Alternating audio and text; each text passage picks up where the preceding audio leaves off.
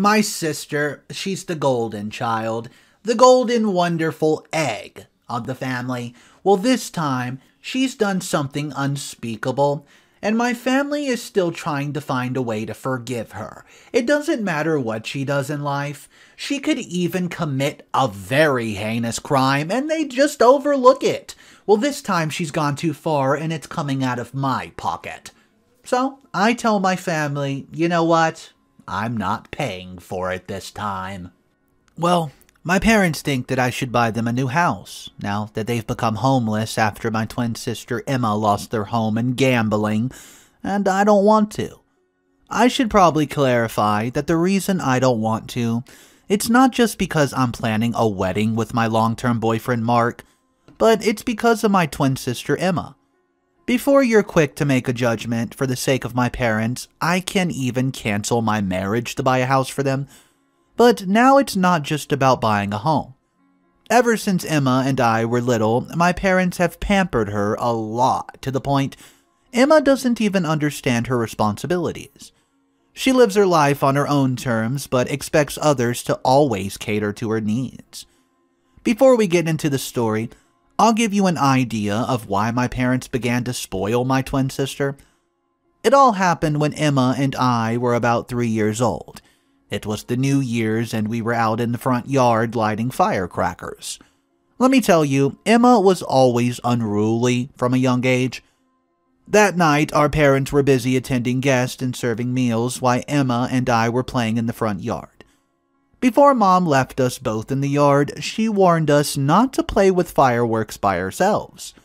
I listened to her and got my eyes glued on the sky looking at the fireworks. Whereas Emma started to light the firecrackers, and all of the sudden I heard a huge, loud bang. I turned around to see where the noise had come from, and it was the noise of firecrackers. Emma had lit the firecrackers, but because of her carelessness, it bursted, causing third degree burns on her face. Emma cried in agony. The sight was not pleasing at all, and our family rushed towards us and carried Emma to the hospital, but it was too late. Emma was left behind with a dangerous scar for the rest of her life, which my parents took the blame for. They believed that it was because of their ignorance and negligence, Emma became the victim of the incident. Trust me, it was not my parents' fault. Emma had always been a troublemaker. Even if my parents had their eyes glued on Emma, she would always find one way or the other just to get into another bit of mischief. But who would tell my parents? They weren't ready to listen to anyone but their pampered princess Emma. I lived with my parents till the tender age of 18, until I was asked to pay for the rent of the home, which pampered princess was never asked to do. I mean, why would they even ask her to pay the rent when she's given allowance till now? I grew up in a quite strict household. My parents were not well off, and I had to think twice before asking to order food from the restaurants. But that was never the case of Pampered Princess. She always got what she wished for. Don't think that I'm saying all this in light or jealousy. Trust me, I would never be jealous of a pampered princess. In fact, I'm glad my parents pampered her instead of me, because now I'm really successful in my own life. In the eyes of my parents, pampered princess would do nothing wrong, so they gave her everything that she desired. A car, money for college, and was even allowed to live there rent-free. However, I had to work at the local restaurant on weekends, and even studied hard for a scholarship because my parents strictly told me they wouldn't be able to afford college fees as they had only saved up for a pampered princess. I was fine with that too, but when Pampered Princess blew away all the college money to gamble and party in Las Vegas, no one really said anything to her. I could tell Dad was furious, but later he forgave her as a pampered princess cried her little crocodile tears. Everything was going fine, but my parents decided to rent out my room to give money to Pampered Princess as her pocket money. Quite unbelievable, I know, but it's true. I either had to start paying the rent or I was kicked out from my own house so another tenant could start living there. I was actually disheartened, so I moved out with my boyfriend Mark, who, by the way, is the biggest sweetheart and has supported me in every step of my life. Soon enough, we decided to start up our own little startup IT company. Cut back to now, and mom called me one night. Mind you, it was midnight, to be precise, 1204. She was crying, and we lost it all. We lost it all, she says, weeping back and forth, and then my heart starts to race. I had no clue what she was talking about, and Mom, could you please tell me what's going on? I asked her several times, but she kept repeating, We lost it all. I hung up the phone and called Dad. In my opinion, Dad's a bit more sensible, and he told me how Emma used their house as collateral and lost it in gambling. Are you kidding me? How did that even happen? I screamed in outrageously tone. My hands and feet were trembling. Why would you allow such a thing? I asked Dad. He didn't have a concrete answer, and he just said, Well, it was Mom, wasn't it? I asked. She took our retirement money, and all we're left with was our house. Emma told us she would give us double the amount of the retirement money. Then Dad said again, Oh, yeah, I'm glad you got double the amount now. It's not Emma's fault. We were unable to give her pocket money, so this happened. Pocket money? I screamed at the top of my lungs. What pocket money are you talking about? She's 25 years of age. Before I could even complete the sentence, Mom snatched the phone and yelled, You have no right to yell at us while you're living in a house yourself. I was beyond words at this point. Now, what do you want from me? I asked. My mom's tone of voice changed immediately, and she was no longer angry, but rather sounded as sweet as my boyfriend Mark. Oh, honey, please buy us a house so that we can all start a new life. My ears began to ring. Are you kidding me, mother? I inquired in a loud, bold voice. How can you expect this from me? What happened to your retirement savings? I asked. Uh, I know exactly what happened. You gave away the money to your pampered princess so she could give you double the amount, didn't you? I couldn't believe my mother. Just a few months ago, she was also calling me crying, asking to pay Emma's college loans after she dropped out. Believe it or not, I'm still paying thousands of dollars worth of Emma's college loans, and now they want me to buy them a home. Who do they think I am? A gold laying goose? Where's your pampered princess now? I strictly asked Mother. She's stressed out. Please don't bug her. Well, I hung up the phone while a thousand of thoughts were flooding through my mind. I chose to think about specifically that one moment. It was the first time Mom invited Mark home. Mom didn't care to hold up good conversations with Mark, but rather emphasized that there was something more important that she wanted to discuss about before Emma came. Deep down, I felt Mom was about to talk about our marriage because isn't that what mothers dream about from their children? Isn't it about us? I blurted out. Mom looked at me and turned towards Mike. I immediately felt a sharp pain in my stomach, and I knew something was off and Mom wanted something from me. She goes like, Uh, you and Mark are dating incredibly well in your lives, but Emma needs your help. You know how she's been drinking and gambling all night, so she gambled her car, has no job. No job? When did she even have a job, Mom? Mom stared at me and said, You both have a startup company. Please give her a job there. I bit my tongue and resisted saying yes. It must be so tough for her. I can understand, I replied. When Mom did not get the desired answer from me, she turned towards Mike. Please note that this is the first time Mike and Mom have ever met, and Mike is an exceptionally good guy. He straight up nodded his head and agreed. I kicked his leg underneath the table, but it was too late. Soon enough, the princess of the house arrived, completely trashed and wasted. Without even greeting, she straight up swears at my boyfriend and goes, Who is he? Talks about manners and etiquette. Thank goodness, Mom scolded her that time and she apologized. She sat next to me, and the pungent smell of alcohol stung me. You're going to work at that new startup company, and I won't take no for an answer, Mom exclaimed. I almost choked on my drink. Was this the reason why Mom invited us? I thought to myself. Emma's laughter interrupted my thought process, and I focused on the food. While Mark stared at my sister in a complete shock, he must have wondered whether my sister was some sort of alien from outer space. Well, we all kept quiet. There was nothing else to talk about, so we promptly left. I'll call you tomorrow, okay? Your sister's coming, Mom mentioned. Mark shook his head and smiled, and as soon as we sat on the car, I got ballistic with Mark. How could you even say yes to that? I asked furiously. But my poor man just wanted to give my sister a chance. I knew my sister very well and also knew that she didn't deserve a chance, but I kept my lips quiet. The next morning, I got a call from my mom saying Emma was coming, but since she didn't have a car, she demands that I come to pick her up, even after I told her I had to be back to meetings at 9 a.m. My mom wasn't ready to hear no for an answer, so I traveled an hour to go to mom's place picked up my princess passenger and drove her to work. Instead of a polite thank you, my princess passenger slammed the door and got out of the car. What is my work? she asked my boyfriend. So, your sister and I have decided that you should take track of the attendance and manage the employee database.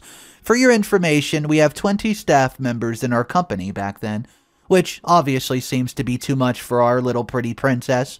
And guess what she demanded? I drop her off at one of the pubs. Guys, at this point, I was absolutely furious. There was no sense of responsibility for that girl. Mark told me that maybe we should give her another chance to show herself, and the next day I strictly demanded that Emma has to finish all the work within a week. No, I didn't set a sturdy deadline. To be honest, the work would only take about a few hours if done sincerely. But our pampered princess ends up messing up the entire work and deleting almost all of our entire files in anger. So, we kick her out of the office. Hiring her must have been the biggest mistake for us ever. We had more to lose than to win, so that's how I became certain Emma doesn't care about anyone but herself. I was fed up with that attitude. Mom was blowing up my phone at this point with phone calls, but I didn't pick up and decided to just go to sleep. Of course, I was super stressed out and worried. Where are all they going to sleep now? What are they going to eat? The thoughts just kept crossing my mind. What's up, everybody? Mr. Reddito here. So, I still have a few updates for you, and I just want you to know things are about to get pretty wild. Here's update number two. If you're new to the channel, guys, consider subscribing as it's the best way to support me. And let's jump into this update. Since the last update, life has been getting even more difficult for us. As I lay in the bed with hands folded on my chest, Mark held my hand and hugged me. It's going to be fine, he assured me, and I began to cry my eyes out. I didn't know what to do next. I was so puzzled, Mark suggested that I talk to my dad for better clarity. So I called him up. From his voice, it was apparent that he's been crying. Dad was quite different from Mom and Emma, but he was also heavily influenced by Mother. I asked him where they were staying. In a low voice, he mentioned that they were allowed to stay in the house for a week, but had to pay a $100 each. They had no money or anything, so I decided to transfer them money, but I was totally against the idea of buying them a home. The relief of them being able to stay for a week made it easier for me to fall asleep. So, the next morning, I woke up with my phone bombarded with text messages from mom, quote, You need to buy us a house. You have money. With you, I know you have money. I was furious and straight up called her, and she picked up the phone in the blink of an eye, like as if she's been waiting for me to call her. You need to help us. We're homeless. It was really not my fault that my parents gave away all their money to their older daughter to go gamble and splurge on alcohol. Couldn't believe that Emma could put my parents' house on collateral. It was after all my parents' fault. I don't have money to buy a home, Mom. How can you even think of that? I asked my mom calmly after swallowing anger. You do, she screamed on the phone. My anger starts to boil inside of me, but Mark shook his head, signaling that I should just keep quiet. And haven't you been planning weddings with your boyfriend? Why do you need to get married? And what about profits that you've been generating from your startup? I'm sure all those will be enough to buy us a good house, she asserted. Her enraged words seared my heart, and I was boiling with absolute rage. How could my mom be so selfish, I wondered. It hurts my heart whenever I compare my parents with Mike's. It was his parents who lent me money for our startup. They've even helped us buy this house. Two months ago, we went to stay at Mike's parents' house for a week. What I'm going to share with you is quite a personal tale, and I'm not sure Mike would appreciate me sharing this on the internet. But if I don't tell you this, it'll be difficult for you to understand my situation and circumstances, so. I met with Mike's parents several times, and let me tell you, they are nothing compared to my parents. They are so sweet as Mike, and they love me like their own daughter. Whenever I'm at their place, I feel like I'm home, but the meet with his parents two months ago was nothing compared to our meet in the past. Mike's mom told us that her husband was suffering from last stage of lung cancer. There was a lump in my throat. Mike took a deep breath and tears started flowing down his face. I'd never seen him cry like that, and Mike's dad had been coughing excessively, but we never thought he'd get diagnosed with cancer at that late of a stage. It was a heartbreaking moment and Mike's mom told us that her husband didn't have much time left on this world, and his only last wish was to see his son get married in the same chapel which he was married in. Mike and I have been talking about getting married since quite some time, and his parents were well aware about it. So it's safe to say they weren't trying to pressure us, it was an emotional moment for all of us. Mike and I promised to fulfill Father's last wish. In case you were wondering, my side of the family knew about this, yet my mom decided it would be best for me to cancel our wedding to buy them a home. I mean, if they can depend on me so much, why can't they depend on their other child for whom they've been giving the world? Why can't little Emma go stand up on her own feet, get a job, get a house? Why is it that whenever some sort of crisis occurs in my family, I need to take the responsibility? Should I be sacrificing myself to vanish?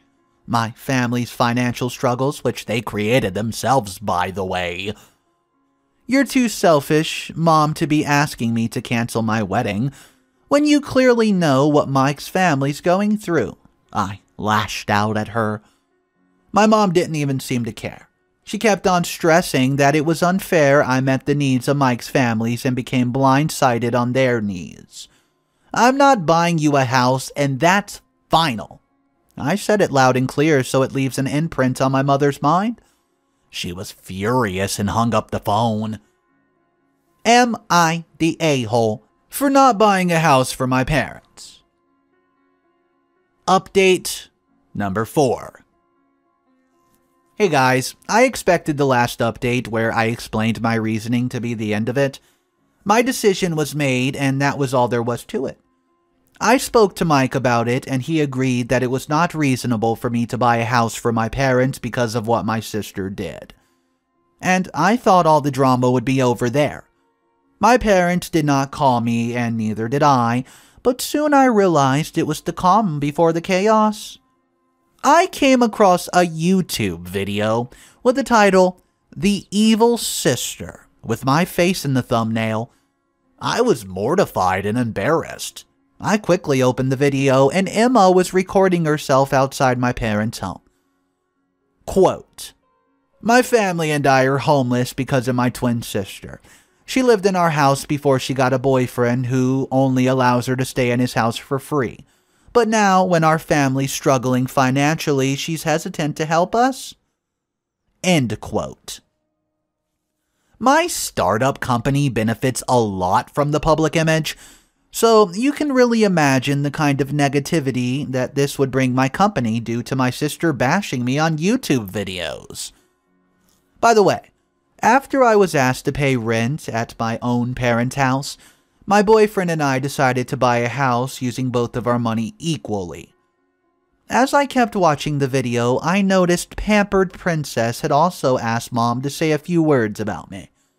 I was stunned to hear that my mother went on to say that I had abused them in every way possible, and it was my fault that their house was about to be taken away from them. I was furious. I dialed up my mom's number and demanded that we meet that instant. My mom said okay without any questions asked, and it seemed as though her plan to get me talking immediately hit the spot. Without thinking anything, I asked her to come over. Well, within two hours, my doorbell rings. I open the door, and you won't believe. My mom, dad, and sister were standing outside my door with their luggage.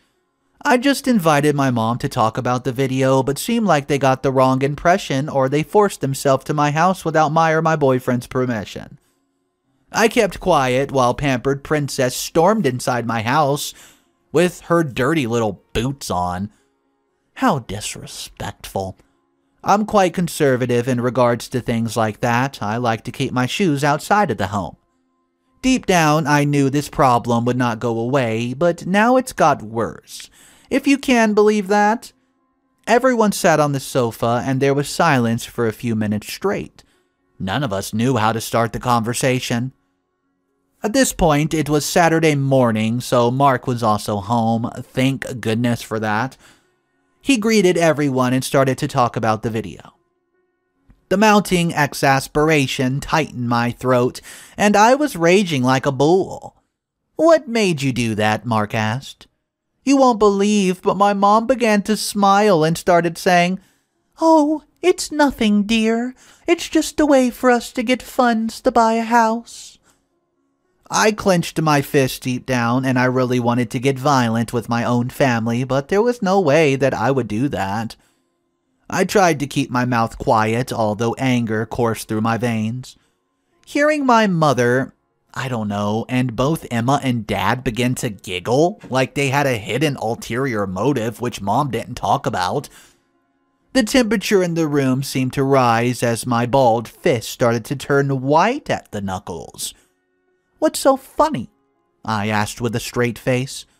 You, Emma replied. At that moment, I lost it all. Get out of my house, I screamed, but Emma instead smiled and showed me the comments on the video. The video had gotten tons of views and people were writing terrible things about me. Mark asked me to stop reading the comments, but it's like a weird compulsion that I can't stop. Why are you doing this to me? I asked my parents. They looked at me and simply implied, Why don't you buy us a home? I don't have money to buy a house, Mom. Why don't you understand? I tried to plead. Mom looked at me deep in the eyes and suggested that we all live together in my home instead. I felt my heart reach my throat and I wanted to barf my entire organs out. I had enough of everything. Before I could even say a word, Mark agreed and showed them the guest room. Let me tell you, we were living in a two bedroom house, by the way, so if my parents stayed in the guest room, the pampered princess would have to sleep in the living room. You need to get yourself a place to live. This is only going to be a short term solution, right? I politely tried to convince my father. But Mom barged in between our conversation and said it was my responsibility to take care of my parents. I agree. I am responsible to take care of my parents, but not when my parents mentally harass me and forcibly make me do stuff. I'd also given dad money for food and shelter, which Pampered Princess had taken to gamble another time. I can't believe how my parents agreed to each and everything that this girl asked for. The next day came in a blink of an eye. I came down to make some breakfast when I noticed Pampered Princess sleeping on the couch, snoring like a pig. The entire living room smelt of alcohol and vomit. I looked around and realized all my fears came to reality. The girl drank some of our favorite collections of aged whiskey and had puked on my favorite white carpet, which was imported from Germany. I put my hands on my head and broke down in tears. Mark hears me crying at this point and came rushing. My family had made our lives a living heck and miserable. I tried to wake Emma up to clean the mess, but she was too drunk to even move a finger. At this point, Mark and I had to leave for work, without eating or saying a word to anybody. I could still smell the vomit in my hands after cleaning up the mess, and when we reached the workplace, some of the staff wanted to quit because they didn't want to work under people who didn't take care of their parents and are disrespectful towards them. We had also lost many long term clients because of the video that surfaced that my family posted. Mike and I were absolutely devastated. We tried our best to forget about everything that turns things around in the company, but it was absolutely difficult. When the clock struck 5 p.m., we both dreaded going back home. We didn't know what would be waiting for us, and as Mike and I reached home, the house looked more like a pigsty than a space for humans to live at. There were bits and pieces of crisps, breads, biscuits lying on the floor and table wherever possible. Mike looked at me and silently cleaned the mess. We both haven't eaten anything since the morning, and the sight of the home like that just made us want to stay hungry for as long as we could. Or at least until the wild animals left our house and left us in peace. We didn't speak to anybody. We went straight to our bedroom. We could hear Pampered Princess talking on the phone loudly and aggressively yelling at somebody. She must have drank our alcohol again, I uttered. Leave it. We can't do anything about it. Mike reassured, and suddenly we get a call from Mike's mom. We only have two months left for the wedding, and how is the wedding preparation going? she asked. Mike and I looked at each other and kept quiet, and I knew you both would be busy, so your dad and I have planned something special. We've decided to hold your marriage ceremony at our house. Come over once, or we can also come so that you can both finalize the decorations, menus, and of course the guest list. Mike's parents are really like an angel, while my side of the family was ready to tear the house down. His parents tried to save the day for us. The thought of getting married to the love of our lives made us want to cherish that moment. We sneakily went down to the kitchen and got an ice cream to share it with each other. We both soon realized that we had the power to be happy or sad. It was just a decision.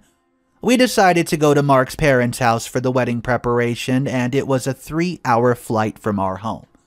We thought it'd be a great little break for us all, and so we left our house in the hands of our family and left. A one week stay at Mark's house was relishing and refreshing. We were happy when we arrived home, but as we entered inside, most of the furniture was missing. Update 5 Final update. My sister not only lost my parents' house in gambling, but she sold our furniture for I don't know what, probably to drink alcohol or even to gamble. Lord knows. But hey, it's okay. I whispered to myself and walked inside. Thank goodness the carpet looked untouched.